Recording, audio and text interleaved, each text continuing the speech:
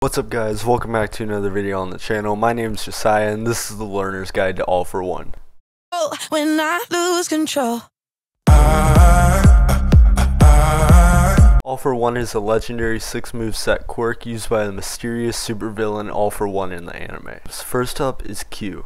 The Q is called Finger Strike and the user sends out spikes from their fingers that jab an opponent while stunning them temporarily. This deals medium range high tier damage. Z is called Enhanced Air Cannon. The user creates a large tunnel of air that can deal damage to multiple opponents if placed correctly. This deals long range medium tier damage. The X is called Warping. Now this move is pretty simple. You put your cursor on where you want to go, press X, and you teleport there. Now while you're teleporting, you are completely invincible and you cannot be damaged. C is called Impact Recoil. Now, when you activate this move, 50% of the damage you would take is dealt to your opponent, while the other 50% is dealt to you. So let me demonstrate this on present mic. I hit him, hold down C, and now I only take 250 damage, whereas he takes the other 250 damage. The V is called Ultimate Combination. The user combines multiple quirks on their arm and creates a large shockwave tunnel. This deals medium range high tier damage. The F is called spring-like limbs.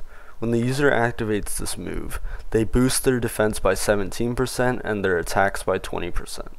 Next up I'm going to be comparing damaging moves with and without spring-like limbs.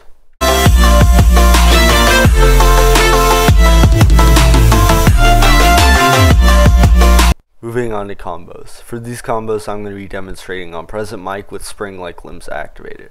Now this moveset really only has one combo, the QZV combo. I'm not going to be incorporating the warping or impact recoil. We start off with our Q. Then we go to our Z. And if the boss isn't dead by then, you use your V and then you start cycling. Now for bosses. Now for these bosses, I'm only going to be using the combo I just demonstrated. I'm not going to be warping or using impact recoil. I will be using spring-like limbs, so if you're not high enough level for spring-like limbs, just go on without it. We start off with our Q, move to our Z, then our V. Moving on to Tomura. Now I didn't mention the boss's name last clip, but I'm pretty sure most of you guys knew it was Midnight. We start off with our Q, then we do our Z. Now he did die as quick as Present Mic because they are the same health. Moving on to Dabi. Let's just get right into this fight. We start off with Q. Then we do our Z. And then our V. Now he did die just as quickly as Midnight because they do have the same amount of health. Now for Muscular. Now Muscular is an all-around great fighter so we want to stay out of the range of his attacks. Like most bosses we start off with our Q. Then we do our Z then our V. Now he's not dead yet, so we start cycling. Next is Gang Orca. Now his supersonic burst can immobilize us, so we're going to start this fight from behind. We do our Q, and the supersonic burst did still hit us, but we were able to dash out of it. Now we probably will have to cycle through our combo several times. Here we have Nomu. Now Nomu is a very tanky boss, so if you're lower level, you might have to cycle through the combo many, many times. So we start off with Q, then we do our Z, and our V. Now like I said, we will have to cycle through many times, so let's do just that.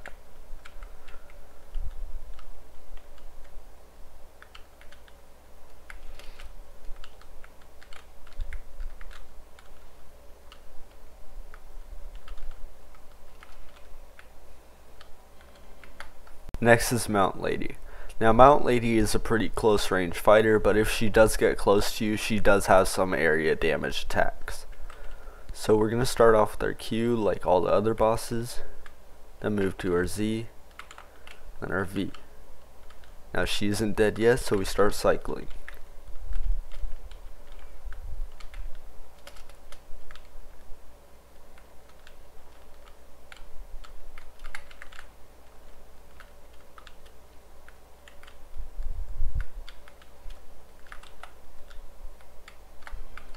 Next up is Endeavor. Now Endeavor is a very tanky and strong character, so like most bosses, you want to stay out of the range of his attacks. So just make sure to cycle through your moves and stay out of the range of his attacks, like I said earlier.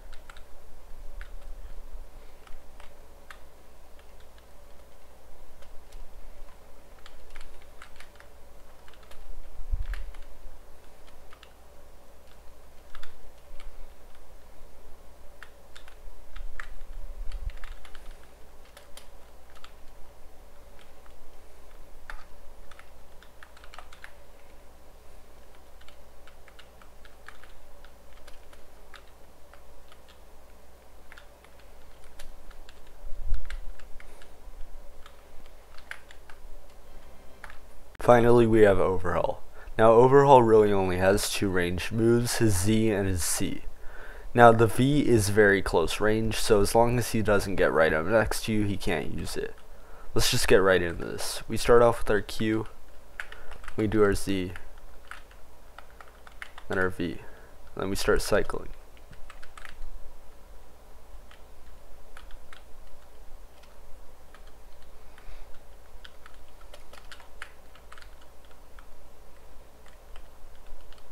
Now, like I said earlier, the Q can stun bosses and NPCs, so take that into account.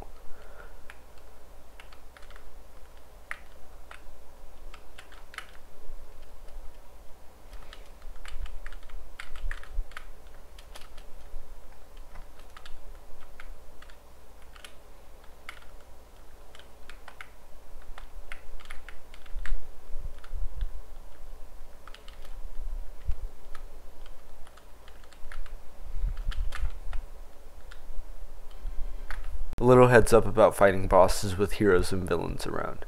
Now, your Q will latch onto the closest NPC, so if the boss isn't the closest NPC to you, it will latch onto the one of the heroes or villains. This did happen with my fight with Endeavor, so be careful of that.